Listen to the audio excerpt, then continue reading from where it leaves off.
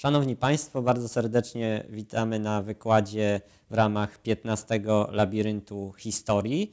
Naszym dzisiejszym gościem jest pan profesor doktor habilitowany Włodzimierz Mędrzecki, pracownik Instytutu Historii Polskiej Akademii Nauk w Warszawie. Pan profesor zajmuje się badaniem historii Europy Środkowo-Wschodniej e, w XIX-XX wieku, także stosunkami narodowościowymi. E, właśnie na tym regionie jest autorem książki Kresowy kalejdoskop Wędrówki przez ziemię wschodnie II Rzeczpospolitej. Panie profesorze, bardzo serdecznie witamy. Dzisiaj będziemy rozmawiać o kresach, o znaczeniu tych terenów dla naszej pamięci, historii również. Skąd w ogóle wzięło się pojęcie kresy i co ono kiedyś oznaczało w dawnych wiekach?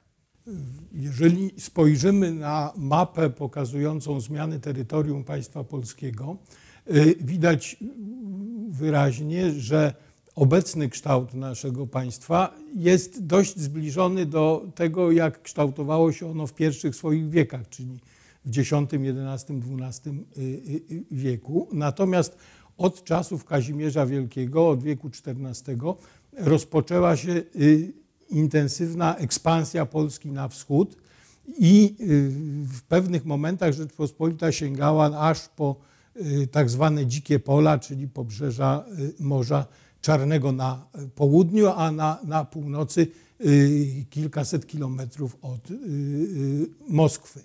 I te wielkie obszary między umownie mówiąc, y, linią rzeki Bóg, a, y, a wschodnimi granicami państwa określano mianem kresów. Y, termin ten istniał, funkcjonował już w polszczyźnie przed rozbiorami, a spopularyzowany został w wieku XIX.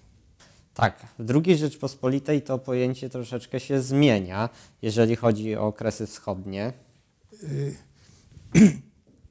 w stosunku do tych wielkich kresów, które widzieliśmy na poprzednim slajdzie, y, różnica y, wynika stąd, że y, na części tych wielkich kresów mieliśmy do czynienia w historii z dość intensywnym osadnictwem polskim i w XIX wieku, zwłaszcza wokół wielkich miast kresowych, czyli Wilna i Lwowa, uformowały się znaczące jakby to powiedzieć, polskie wyspy osadnicze.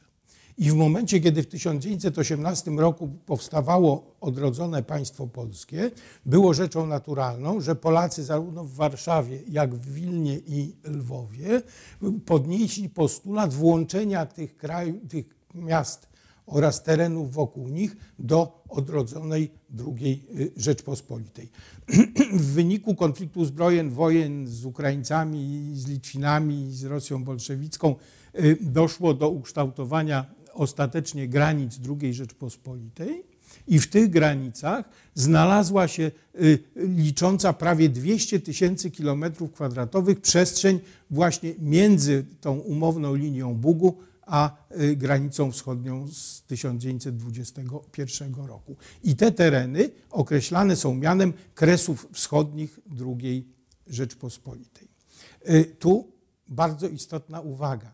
Y, z punktu widzenia obecnych gospodarzy tych ziem, czyli Litwinów, Białorusinów i Ukraińców, tereny Kresów Wschodnich są integralną częścią terytoriów tych państw narodowych Ukrainy, Białorusi i y, Litwy. I historycy oraz opinia publiczna tych krajów uważa, że współcześnie używanie terminu Kresy Wschodnie jest y, krzywdzące dla obecnych gospodarzy i stąd ogromny ich postulat, ażeby używać terminu ziemie wschodnie II Rzeczpospolitej które oznacza ten sam obszar co Kresy Wschodnie II Rzeczpospolitej, ale nie ma takiego pejoratywnego z punktu widzenia naszych sąsiadów y, zabarwienia. Stąd y, wielu polskich historyków współcześnie w pracach naukowych używa raczej terminu ziemie wschodnie II Rzeczpospolitej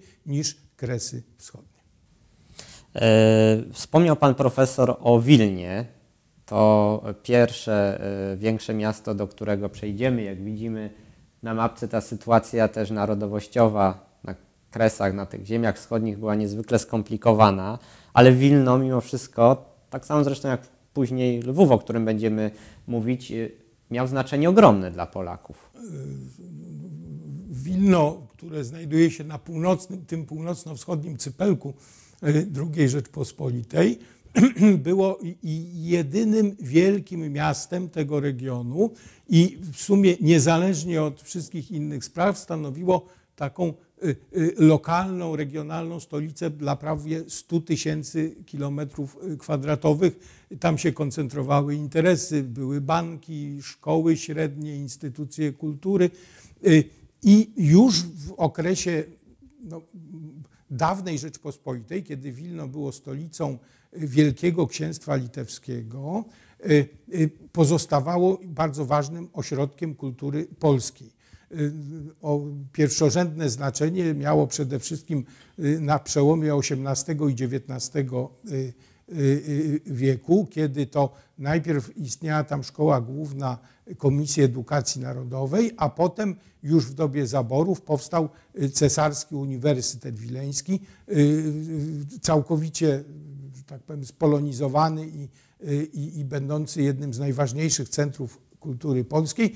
Wśród studentów tego uniwersytetu znaleźli się innymi Adam Mickiewicz, a y, Juliusz Słowacki, mieszkający w Wilnie, był synem y, jednego z profesorów y, tego uniwersytetu. I przez cały XIX wiek, mimo represji carskich, które chciały zrusyfikować Wilno, był to jeden z najważniejszych ośrodków kultury polskiej dla, o skali ogólno Y, o skali ogólnonarodowej.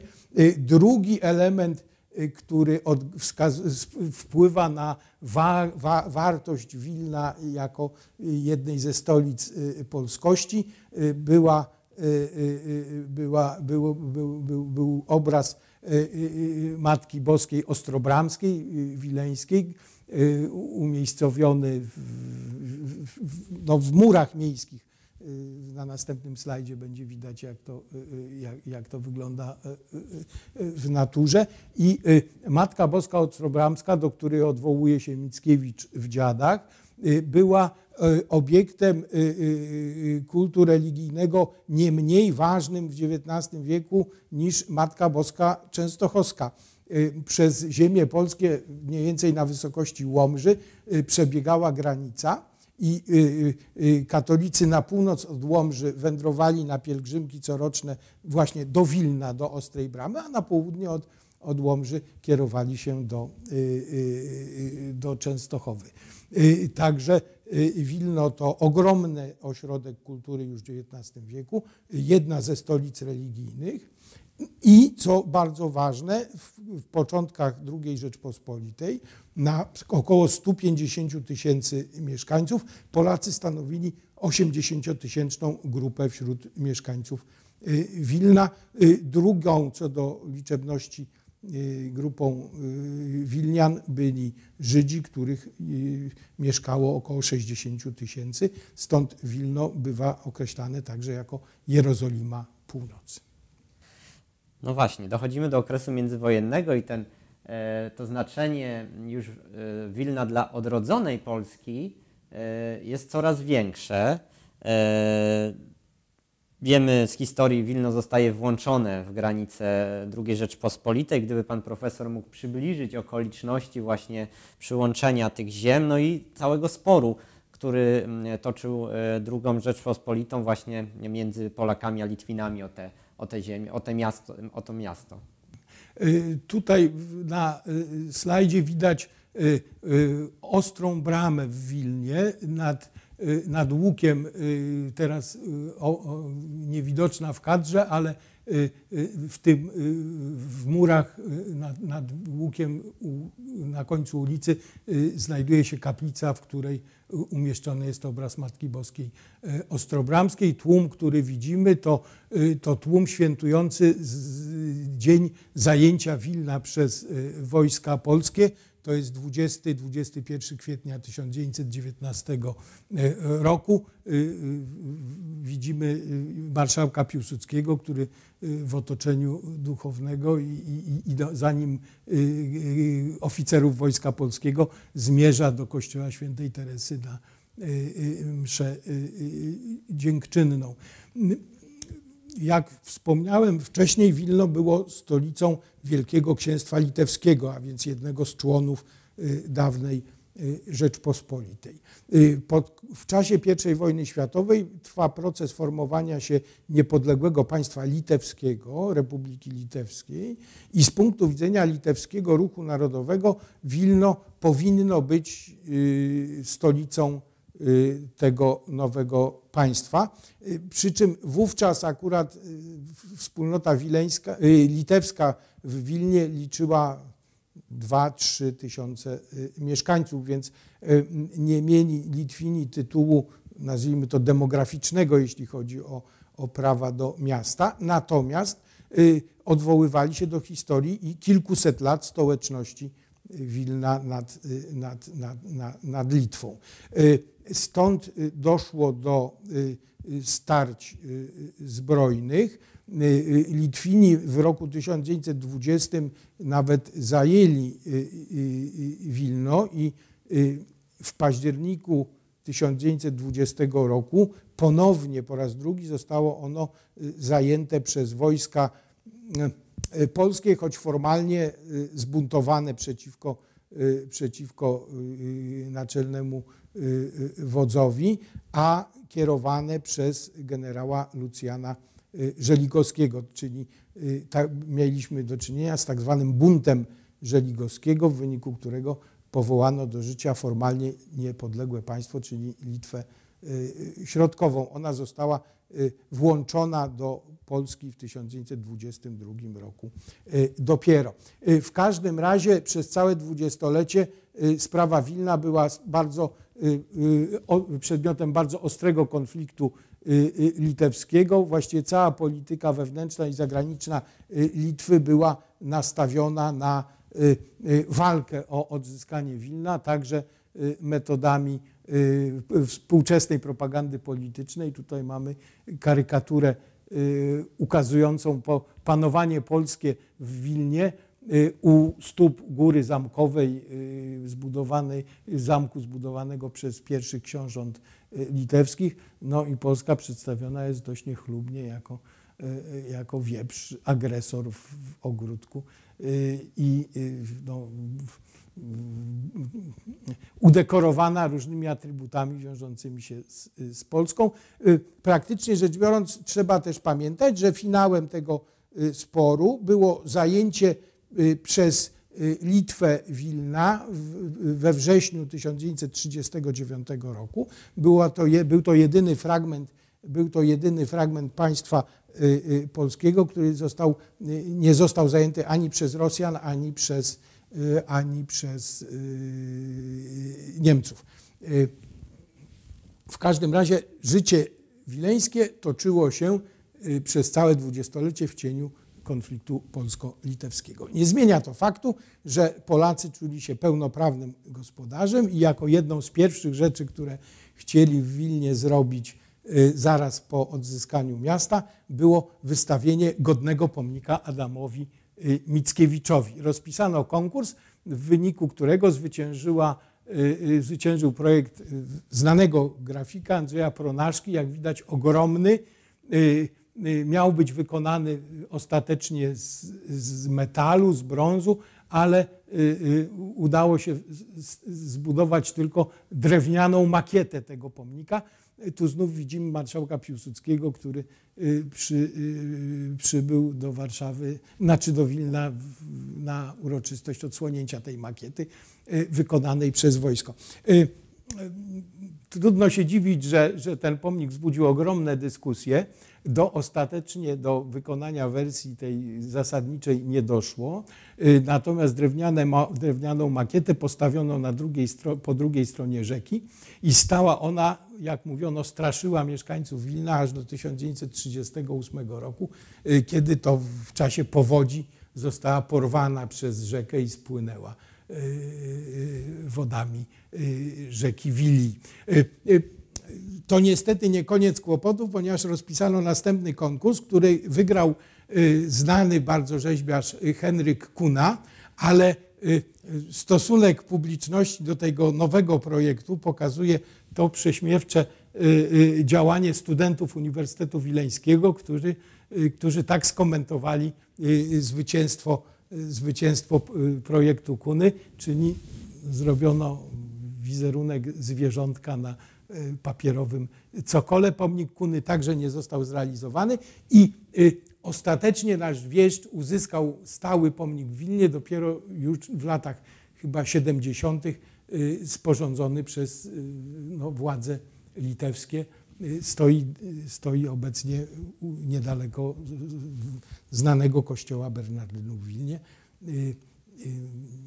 No, I tak dopiero takim epilogiem zakończyły się polskie próby uhonorowania wieszcza w terenie. Józef Piłsudski, którego już widzieliśmy w Wilnie w roku 19-24, także swoją ostatnią publiczną podróż wykonał z Warszawy do Wilna. To jest zdjęcie z lutego 1935 roku, kiedy to już śmiertelnie chory Piłsudski przyjechał na pogrzeb swojej siostry, cały czas mieszkającej w Wilnie. Pochowana została na jednym z najbardziej znanych wileńskich cmentarzy, cmentarzy Bernardynów. Po śmierci Piłsudskiego do Wilna dotarło jego serce, które zostało złożone po bardzo uroczystej procesji w rocznicę śmierci na cmentarzu, najbardziej znanym cmentarzu wileńskim, czyli na cmentarzu na Rosie, gdzie spoczywa Piłsudski. Na środku mamy taki czarny sarkofag z sercem i prochami jego matki, a po bokach do dziś są kwatery żołnierzy polskich, którzy zginęli w walkach o Wilno. Trzeba dodać, że niemal w nienaruszonej formie. Cmentarz zachowany jest do dziś i do dziś jeżdżą tam liczne polskie pielgrzymki, wycieczki, składając hołd Piłsudskiemu i żołnierzom polskim, którzy o Wilno walczyli. I teraz najbardziej znana budowla wileńska, czyli katedra świętego, Stanisława, świętego, Kazimierza, świętego Stanisława i świętego Kazimierza w Wilnie, a nad nią widoczne są, widoczna jest wieża zamku książącego postawionego przez wielkich książąt litewskich jeszcze przed Unią Polsko-Litewską. Tutaj jedna z najbardziej znanych i barwnych postaci wileńskich, arcybiskup Romuald Jałbrzykowski, który słynny był między innymi stąd, że był wielkim miłośnikiem motoryzacji. Kupił sobie, sprowadził z Ameryki wielkiego bika i objeżdżał po, po, po błotnymi wileńskimi drogami teren archidiecezji w ramach procesu tych, tych wizytacji, wizytacji arcybiskupich. Po, po II wojnie światowej arcybiskup Jałbrzykowski przeniósł, znaczy wyjechał z Litwy i zamieszkał w Białymstoku, gdzie kilkanaście lat po wojnie dopiero zmarł. Trzeba bardzo mocno pamiętać, że, że Wilno obok tego, że było miastem polskim i żydowskim, gościło także wielu przedstawicieli bardzo różnych wyznań i religii. Między innymi mieszkali w Wilnie Karaimi.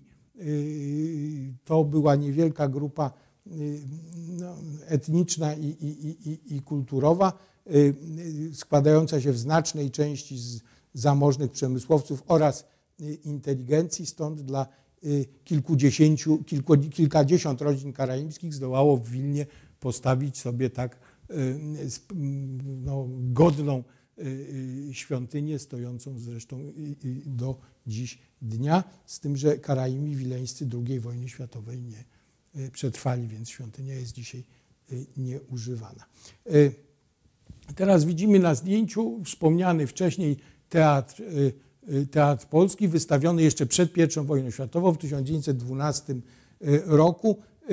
Między innymi słynny stąd, że występowała w nim jedna z najbardziej znanych trup teatralnych II Rzeczpospolitej, czyli teatr Reduty, w zasadzie założony w Warszawie, ale Warszawa okazała się dla niego zbyt konserwatywna i przez kilka sezonów występował w Wilnie, jakby podkreślając ogólnopolską rolę kulturalną tego miasta. Jednak najważniejszą instytucją, która w dużej mierze określała życie wileńskie, był Uniwersytet Stefana Batorego.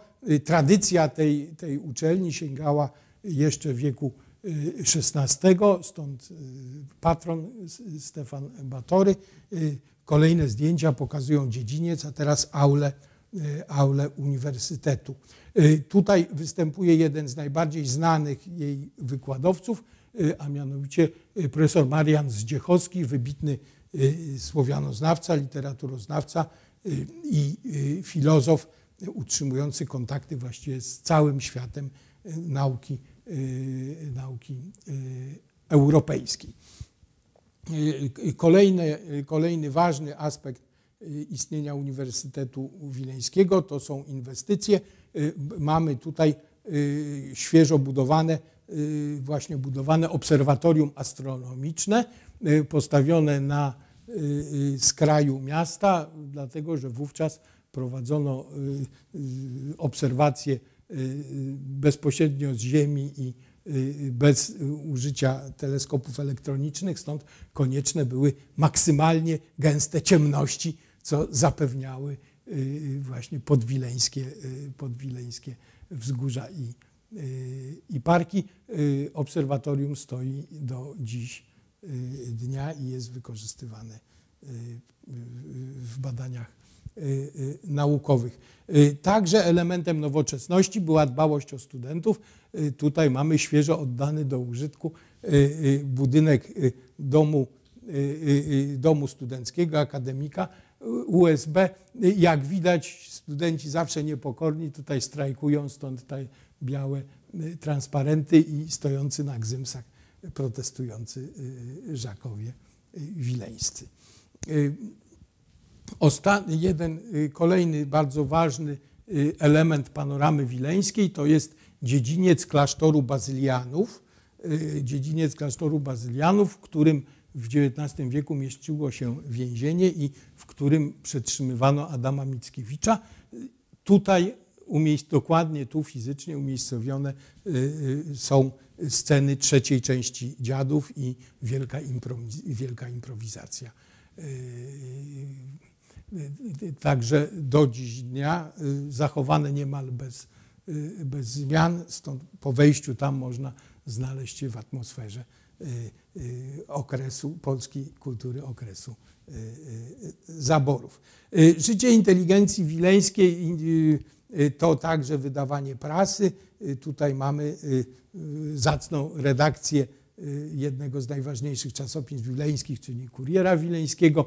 Słynne na całą Polskę było też Wileńskie Słowo, którego redaktorem był Stanisław Cat Mackiewicz, słynny z polemicznej, z polemicznej pasji. Była ona na tyle duża, że choć Mackiewicz w zasadzie popierał rządy Józefa Piłsudskiego i sanacji, to za jeden ze swoich tekstów wylądował nawet w Berezie Kartuskiej jako więzień polskiego miejsca odosobnienia stworzonego w latach 30. XX wieku. Wizytówką kulturalnego Wilna było także radio i tutaj mamy nagrywanie audycji wileńskiej rozgłośni polskiego radia. Co ważne, Wilno obok tamtych scen, obrazków, które można uznać za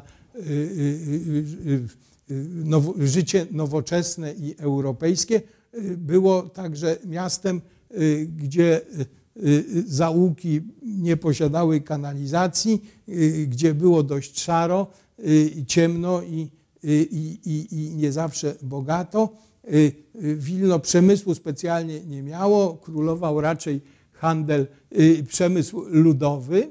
I tutaj mamy zdjęcia z najsłynniejszego targu wileńskiego, tak zwanych kaziuków, czyli y, y, targu na świętego Kazimierza, zawsze co roku wiosną, e, ale y, takie targi normalne w mniejszym wymiarze odbywały się co tydzień i właśnie na targach zaopatrywało się większość mieszkańców Wilna, właściwie we wszystkie produkty. Tutaj wcześniej mieliśmy jednym z najsłynniejszych asortymentów wileńskich, czyli obwarzankami do dziś w całej Polsce słynnymi i y, kosztowanymi.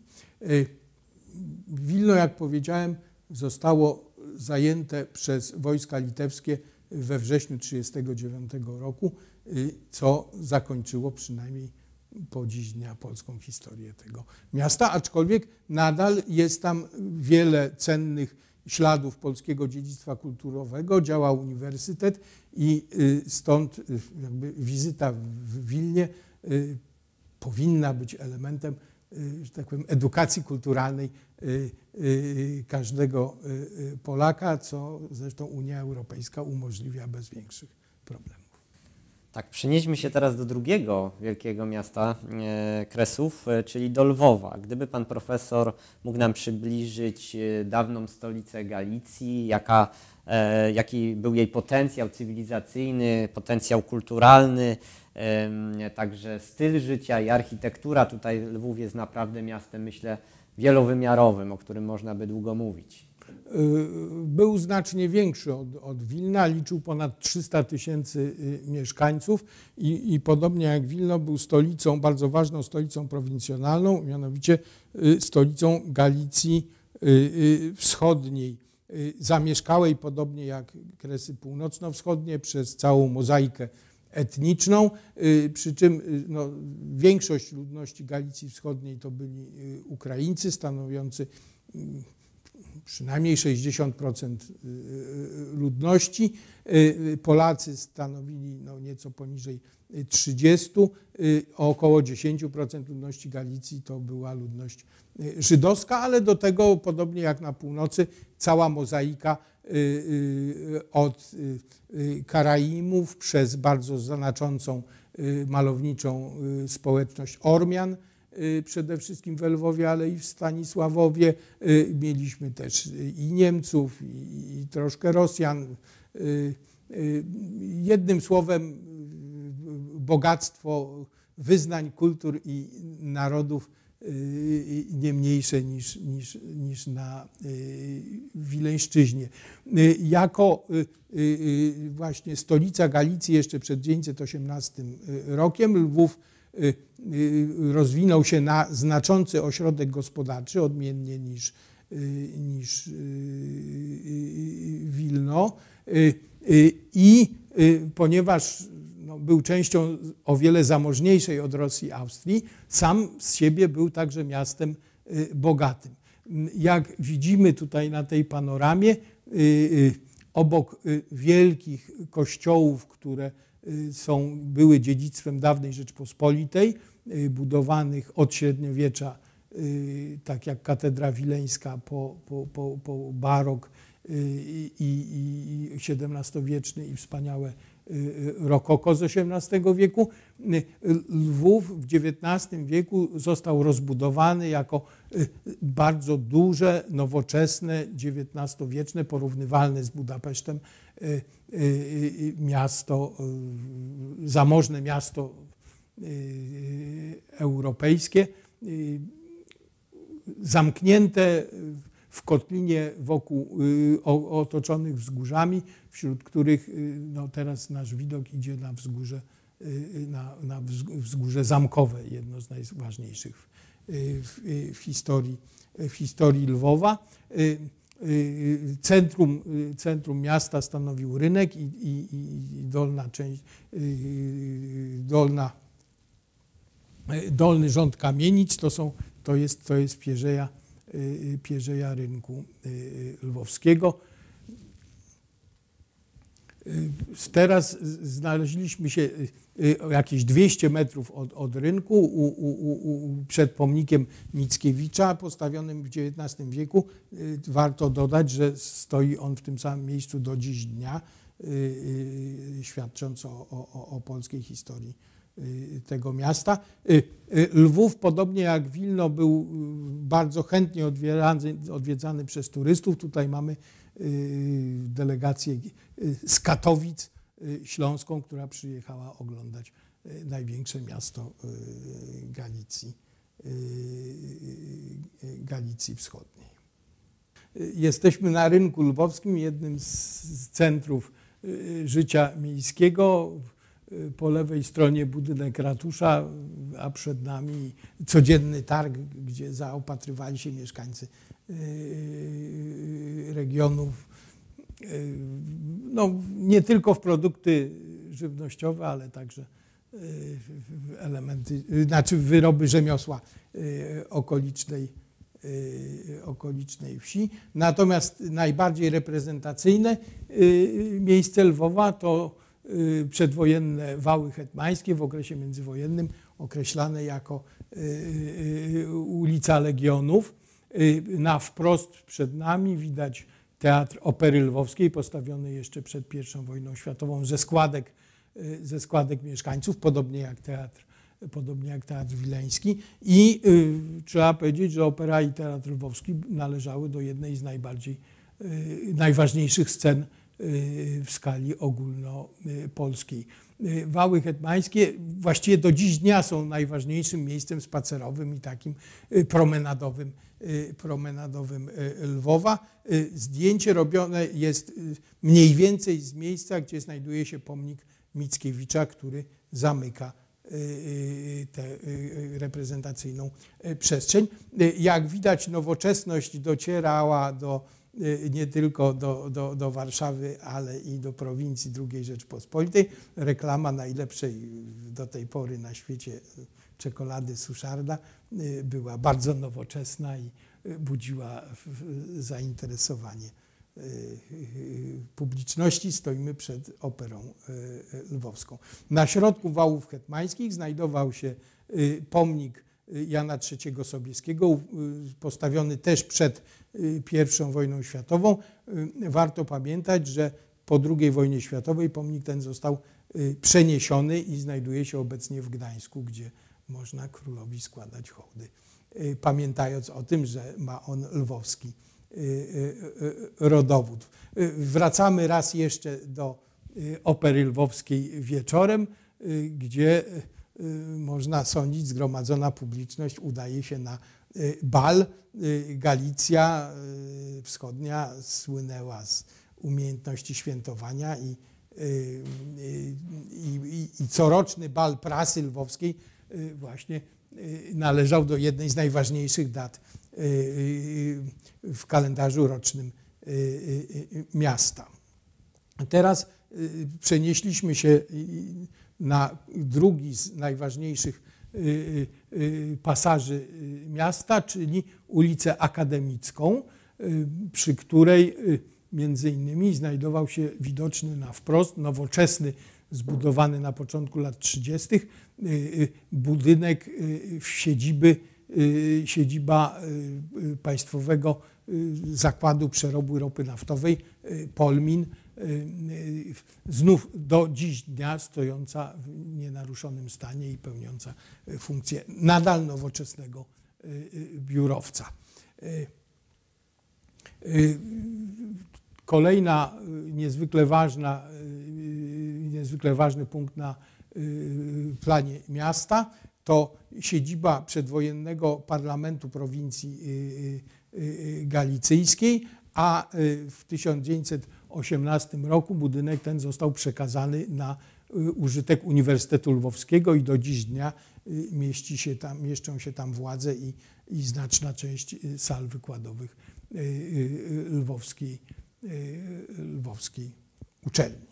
Y, y, nową, niezwykle potrzebną inwestycją miasta była y, elektrownia nowoczesna elektrownia i jeszcze bardziej nowoczesny biurowiec miejskich zakładów energetycznych, postawiony w wówczas bardzo nowatorskim stylu architektury funkcjonalnej. Jest on wymieniany wśród naj, jakby takich najbardziej znaczących dokonań architektury polskiej okresu międzywojennego. Także kolejną wizytówką Lwowa było nowoczesne budownictwo mieszkaniowe, nie, nie tylko stara XIX-wieczna substancja, ale też osiedla urzędnicze budowane wokół centrum Lwowa, które do dziś dnia są uważane za bardzo wygodne i dobre do, że tak powiem, zamieszkiwania przez lwowskie, lwowską inteligencję. Bardzo ważnym elementem życia lwowskiego były, była instytucja targów wschodnich. Na początku okresu międzywojennego, żeby utrzymać znaczenie gospodarcze miasta, stworzono Y, y, powołano do życia targi, na których y, miejscowi galicyjscy przedsiębiorcy wystawiali swoje towary, ale także zapraszano kupców nie tylko z kraju, ale i z zagranicy. W początku lat 30. Przed, przed wielkim kryzysem było około tysiąca wystawców, także targi odgrywały ogromną rolę gospodarczą i były też wielką atrakcją dla Y, publiczności. Y, jak widać, tysiące y, gości odwiedzało tam pawilony. Mogło też się napić dobrego, oryginalnego lwowskiego, lwowskiego piwa. Wizytówką nowoczesnej gospodarki Lwowa był i całej Galicji był przemysł petrochemiczny. Obok no, starych, pamiętających jeszcze czasy galicyjskie Y, szybów naftowych i, y, i, i prymitywnych y, przetwórni były także budowane nowoczesne zakłady, wśród których właśnie Polbin wyróżniał się zatrudniając 800 pracowników, co na tamte czasy było bardzo dużą, bardzo dużą liczbą. Kolejnym elementem nowoczesnego stylu życia Lwowa międzywojennego była, był sport. Y, tutaj mamy na obrazie Józefa Piłsudskiego, który w 1924 roku odwiedził ówczesnych mistrzów Polski, czyli piłkarzy Pogoni Lwów. Y, y, w latach 30. już nie byli aż tak utytułowani i znaczący, ale niezależnie od tego lokalnie sport w Lwowie cieszył się ogromnym powodzeniem. Zbudowane były w latach 30. nowoczesne baseny, pod koniec lat 30. stworzono, zbudowano, wojsko zbudowało krytą pływalnię, gdzie można było cały rok trenować y, sport pływacki. Y, organizowano zawody balonowe, piłki wodnej i kolejną jakby atrakcją sportowego Lwowa były, był sport automobilowy. Kryterium uliczne organizowane corocznie skupiało y, kilkudziesięciu y, zawodników y, z, całego, z, całej, z całej Europy i, i, i śmietankę polskiego, tak polskiego sportu narodowego, motorowego. Trzeba pamiętać, że podobnie jak w Wilnie, życie Lwowa toczyło się przez całe dwudziestolecie międzywojenne w cieniu y, polityki. W 1918 y, roku doszło do zbrojnego starcia o y, suwerenność nad Galicją i Lwowem między Ukraińcami, którzy zdecydowali, spróbowali powołać własne państwo pod nazwą Zachodnioukraińska Republika Ludowa, a Polakami, którzy stanowiąc większość w Lwowie i inaczej w części Galicji, Y, postanowili y, jakby walczyć o przyłączenie tego terenu do II y, Rzeczpospolitej. Ostatecznie zwyciężyli Polacy, ale groby tutaj prowizoryczne, kopane jeszcze w czasie trwania walk, podzieliły obie, oba oba narody. Przy czym no, trzeba powiedzieć, że o ile Ukraińcy byli zmuszeni gorycz porażki jakby trawić po cichu i, i we własnym gronie, Polacy chcieli święcić swój triumf i w swoim przekonaniu ostateczne zwycięstwo o polskość Lwowa na ogromnej nekropolii zbudowanej specjalnie dla pochowania wszystkich, którzy zginęli zarówno w czasie wojny 1918-19, jak i 1920 roku na słynnym do dziś istniejącym cmentarzu Orląt Lwowskich. Tutaj widzimy kaplicę będącą centralnym punktem cmentarza i widać, że cmentarz w okresie międzywojennym był wypełniany stopniowo tutaj groby, które stoją na niższym poziomie, są stawiane indywidualnie, każdy ma swój własny charakter. Obecnie, jak widać ze współczesnych zdjęć, to są kwatery betonowych krzyży w jednolitym, w jednolitym stylu. Już pod sam cmentarz budowano właściwie do końca okresu międzywojennego. W ostatnich latach dwudziestolecia postawiono taką bramę triumfalną prowadzącą do cmentarza, która była ulubionym miejscem zdjęć wycieczek przyjeżdżających do Lwowa z całej Polski. Tutaj mamy górali z Zakopanego składającego hołd obrońcom. Lwowa, słynne lwowskie lwy są obecnie przedmiotem sporu, ponieważ władze ukraińskie, godząc się na renowację, odbudowę i funkcjonowanie cmentarza, odmawiają zgody na przywrócenie tych lwów, które tutaj widzimy, uznając, że ich postawienie byłoby polityczną deklaracją polskich aspiracji do odzyskiwania, odzyskania miasta. Jeden z grobów na najsłynniejszym lwowskim cmentarzu, cmentarzu łyczakowskim, gdzie spoczywają wybitne postacie, poczynając od, od Marii Konopnickiej, Gabrieli Zapolskiej, przedstawiciele, znaczy jest wielka kwatera powstańców 1863 roku. Jednym z grobów jest grób Stanisława Sobińskiego, będącego ważną ofiarą jakby walk czy, czy, czy, czy walki ukraińskiej o, o, o własne prawa narodowe, mianowicie w 1922 roku powołana została do życia organizacja ukraińska organizacja wojskowa, której, która prowadziła walkę narodową z użyciem metod terrorystycznych. I Stanisław Sobiński, kurator Okręgu Szkolnego Lwowskiego, został zastrzelony w 1926 roku w zamachu.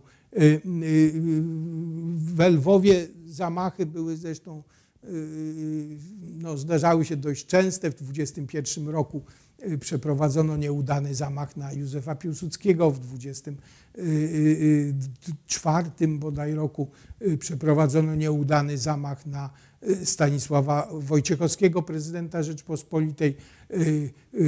Na początku lat 30. zginął jeden z inspektorów policji lwowskiej, zastrzelony także przez bojowców ukraińskiej organizacji wojskowej.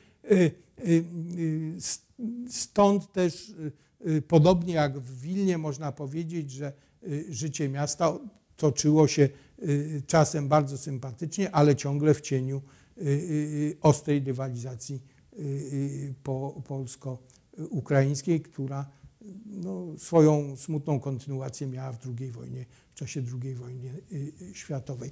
Znów poprzednie zdjęcia Lwowa zamożnego i bogatego nie mogą nas zwieść. Tu z kolei mamy sprzed opery zdjęcie z początku lat 30 demonstracji na 1 maja. Co ciekawe, widać, że obok transparentów polskich są także transparenty żydowskie, bo o ile w pewnych środowiskach konflikt polsko-żydowski był bardzo ostry, w świecie pracy wśród socjalistów współpraca robotników i ruchów socjalistycznych polskich i żydowskiego były, była dość, dość bliska. Zapleczem tych strajkujących tutaj były choćby przedmieścia lwowskie, które, no, na których nowoczesna architektura i zamożne budownictwo już nie docierały. Także jedni handlowali czekoladą Suszarda, ale też było miejsce dla lwowskich, dla handlu obnośnego, którego reprezentację mamy Y, mamy tutaj, zwłaszcza w latach 30., w okresie kryzysu, y, dość y, dużą, że tak powiem, plagą było, była bezdomność i, i, i, i, i niedożywienie. Efekt między innymi ówczesnej pomocy społecznej to organizacja, organizacja kuchni ruchomych, które rozprowadzały żywność wśród najbiedniejszych mieszkańców. Y, y, y, miasta. Można więc powiedzieć, że zarówno życie Wilna, jak i Lwowa było bogate, niezwykle ciekawe, różnorodne, obfitowało w elementy no, spektakularne z punktu widzenia polskiej kultury, gospodarki, cywilizacji, ale też miało szereg aspektów mniej, którymi mniej chwalilibyśmy się do dziś dnia. No i polityka wisiała nad nim bardzo poważnie. A jaka była rola pozostałych ziem e, kresowych, ziem wschodnich, e, wyłączając Wilno i Lwów w II Rzeczpospolitej? E, jak widać na, na, na, na mapie, o, o, obraz czerwony to jest ludność polska, zielona, zielony to są Białorusini, żółty to są Ukraińcy. Więc generalnie rzecz biorąc, trzeba powiedzieć, że pozostałe poza Wilnem i Lwowem terytoria to jest obszar znacznego napięcia narodowościowego i swego rodzaju walki o to, ażeby z jednej strony te tereny integrować do państwa polskiego, z drugiej strony są to obszary rozwoju autentycznego, żywego białoruskiego, ukraińskiego i litewskiego ruchu narodowego.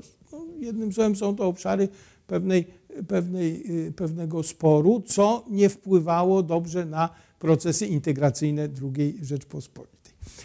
Dalej, niezwykle ważne jest to, że gdyby wyobrazić sobie, że granica wschodnia przebiega w okolicach Białego Stoku, Brześcia i Przemyśla, to wtedy zobaczylibyśmy, jak niedaleko od granic polskich znajdowałyby się zwarte oddziały Armii Czerwonej. E, ziemie wschodnie II Rzeczpospolitej odegrały ogrom, odgrywały ogromną rolę jako swego rodzaju bufor bezpieczeństwa, e, zapewniający Polsce możliwość lepszego zorganizowania ewentualnej obrony ze wschodu, a rok 1920 pokazuje, że ta obrona no, mogła być w każdej chwili y, konieczna. Stąd y, nie sposób jest jednoznacznie powiedzieć, że ziemie wschodnie bądź osłabiały państwo polskie, bądź były y, jakby integralną jego częścią, bo i jedna i druga wypowiedź byłaby przesadą. Historyk może powiedzieć, że losy narodowe ułożyły się w ten sposób, że te tereny weszły w skład państwa polskiego. I trzeba powiedzieć, że Polacy starali się być gospodarzem tych terenów, y, y, starali się w nie maksymalnie inwestować i y, poprawić los ich mieszkańców. Natomiast było wiele czynników, które sprawiały, że te starania były, no, przynosiły ograniczone efekty. Dalej, łącznie na terenie ziem wschodniej II Rzeczpospolitej mieszkało kilka milionów Polaków.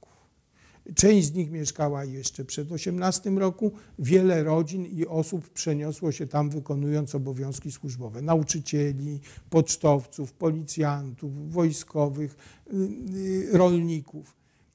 I z punktu widzenia tamtych ludzi ich praca na kresach była budową osobistej Y, zamożności, podstaw bytu, a z drugiej strony jakby rzetelną i uczciwą pracą na rzecz na rzecz Polski. I w tym sensie pojawiające się w ukraińskiej czy, czy, czy litewskiej literaturze stwierdzenia, że była to, był to polski imperializm i, i kolonializm są niesprawiedliwe, ponieważ ci ludzie jechali tam z dobrą wolą i myśląc o pracy jakby pozytywnej, a nie uciemiężaniu kogokolwiek. Y, tak, ale historia się tak potoczyła, że jednak tracimy tę te, te ziemię. Gdyby pan profesor mógł przybliżyć okoliczności bardzo krótko utraty kresów. Jak mówiliśmy w czasie dotychczasowej rozmowy, y, y, ziemię tę Polska zajęła w, w trakcie konfliktu. I ten konflikt nie wygasł i ani Białorusini, ani Ukraińcy, ani Litwini nie zrezygnowali ze swoich aspiracji politycznych. O ile w roku 18 historia nam sprzyjała i układ międzynarodowy był korzystny z punktu widzenia polskich dążeń, o tyle w 1939 roku Y, Polska znalazła się w sytuacji katastrofalnej z punktu widzenia geopolityki, y, y, ponieważ obrońcą interesów ukraińskich białoruskich mianowała się Rosja, potężna wówczas i w porozumieniu z Hitlerem. Polska nie miała żadnych szans na utrzymanie suwerenności nad tymi ziemiami. Podobnie Litwa, która zajęła Wileńszczyznę na mocy porozumień niemiecko-radzieckich też przecież nie, nie, nie, nie wyłącznie z własnej y, inicjatywy. I los tych terenów przypieczętowały polityczne rozstrzygnięcia II wojny światowej, na które Polacy, ani w ogóle mieszkańcy tamtych terenów nie mieli żadnego wpływu. Stąd też ukształtowanie się powojennych granic Polski należy uznać za troszkę takie samo rozstrzygnięcie historii, jak miało miejsce po I wojnie światowej. Y, na historię można się obrażać, ale raczej trzeba po prostu przyjmować jej wyroki do y, wiadomości. I generalnie rzecz biorąc, Polacy to zrobili. Nie można natomiast zapominać o ogromnej krzywdzie, jaka stała się udziałem właśnie milionów Polaków i wielu setek tysięcy rodzin polskich, które poddane zostały ogromnym i niesprawiedliwym represjom w czasie II wojny światowej. E, setki tysięcy osób zostało wywiezionych na Syberię, na wschód e, i płaciło absolutnie nie za swoje winy. E, wiele z tych osób na Syberii zmarło, straciło bliskich, dzieci zwłaszcza. Po zakończeniu II wojny światowej, praktycznie rzecz biorąc, ich powrót na miejsce, skąd zostali wysiedleni, był niemożliwy. Y, decyzje władz y, powojennych Polski ZSRR y, jakby wymusiły ogromne migracje ludności i przeniesienie się no, milionów osób z dawnych ziem wschodnich Rzeczpospolitej w granice, współczesne granice państwa polskiego. Jedyny region właściwie, gdzie zostały zostały znaczące grupy polskie, to, są, to, są, to jest takie pogranicze Litwy i Białorusi, czyli północny, północna część Białorusi i, i, i, i Wileńszczyzna. Jednak ludność ta polska tam została pozbawiona wszelkich praw i możliwości kontynuacji, że tak powiem, rozwoju narodowego. Natomiast ci, którzy przenieśli się na teren Y, y, drugiej, znaczy na temat powojennej Polski, zostali jak gdyby zmuszeni do milczenia i odbudowy swojego, czy budowy, na nowo budowy swojego życia w nowych granicach, jak gdyby z traktowaniem swoich doświadczeń jako doświadczeń prywatnych, osobistych, z którymi nie należy dzielić się z otoczeniem. Jakby proklamowana oficjalnie przyjaźń polsko-rodzicka zakładała, że nie mówimy o krzywdach, nie mówimy o migracjach, nie mówimy o, y, o represjach. Stąd też jedynie, bardzo długo jedynie na emigracji w Anglii, Stanach Zjednoczonych y, y, pojawiały się jakby głosy wspomnień przypominające tradycję kresową, instytucję, życie przedwojennego Lwowa czy, Y, czy Wilna. I to zmieniło się właściwie dopiero po 1989 roku. I tak samo, panie profesorze, chyba z historią też dopiero po po 1989 roku możemy zajmować się swobodnie badaniem dziejów. To znaczy badaniem może nie. Y, znaczy badać, naukowcy mogli badać Ziemię Wschodnie, natomiast y, no, moja pierwsza publikacja na ten temat z końca lat 80. była wydana w 300 egzemplarzach, więc to, to był nakład wyłącznie y, w obiegu naukowym. Ważniejsze jest co innego, to znaczy my mieliśmy, nie mieliśmy możliwości przedyskutowania tego problemu. Już właściwie już przed wojną y, y, ktoś taki jak y, Giedroyć nawoływał do budowy dialogu polsko-ukraińskiego, czy polsko Jerzy Giedroyć, czy polsko-ukraińskiego, czy polsko-białoruskiego, bo życie w permanentnym konflikcie było niemożliwe ani ostatecznie ani dla jednej, ani dla drugiej strony. I y, po II wojnie światowej konieczna była właśnie y, głęboka dyskusja Polaków, Ukraińców, Białorusinów, Litwinów nad nowym kształtem politycznym Europy, nad y, jakby wybaczeniem sobie wzajemnych przewin, krzywd, które stały się udziałem wszystkich stron i budowa konsensusu politycznego wokół właśnie nowego ładu Europy Środkowej i Wschodniej przy jednoczesnym odrzuceniu dominacji nad tym terenem Związku Radzieckiego. Tutaj ogromną rolę odgrywa paryska y, kultura, to jest czasopismo Kultura wydawana przez Jerzego Giedroycia w, y, Paryżu. I właśnie w latach 90. doszło do takiej wielkiej fali dyskusji, dialogu między Polakami a Ukraińcami, Litwinami. Efektem tego dialogu było jakby wylanie krzywd i powszechna zgoda co do tego, że współczesny układ granic politycznych jest jedyny możliwy i należy go akceptować. Stąd nikt poza politycznymi wariatami bądź samobójcami nie nawołuje do zmiany granic. Wszystko jedno, czy na korzyść, czy na niekorzyść państwa polskiego, czy yy, ukraińskiego. Yy, natomiast Y, y, wydaje się bardzo ważne y, respektowanie prawa wszystkich, którzy ponieśli w czasie tego strasznego czasu i procesu krzywd, na przykład w walkach, zbrodniach dokonanych przez Ukraińców, czy w wypędzaniu Polaków z Wileńszczyzny czy z Białorusi. Musi być respektowane prawo do wyrażania tego bólu i swoich emocji Y, na tle y, historii rodziny, bliskich y, tradycji rodzinnej. To się powoli dzieje i powiedziałbym, że dla współczesnego młodego pokolenia problematyka kresowa jest już problematyką historyczną, choć niekiedy także historii własnej rodziny.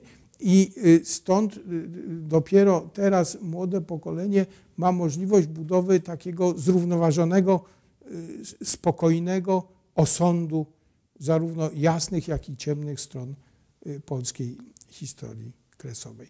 Natomiast w ostatnim zdaniu trzeba koniecznie powiedzieć, że jest to część polskiej historii i y, udawanie, że tego nie było, chowanie głowy w piasek, rezygnowanie z, tego dziedzictwa jest, no, no byłoby ogromnym błędem w Wilnie, w Lwowie, w Łódzku, w Tarnopolu zdarzyło się mnóstwo ważnych z perspektywy polskiej, także teraźniejszości rzeczy.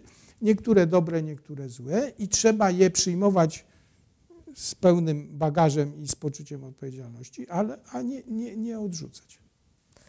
Panie profesorze, bardzo dziękuję za rozmowę. E, dziękuję również za uwagę słuchaczom.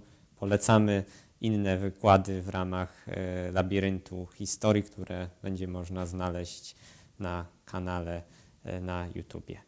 Dziękujemy bardzo.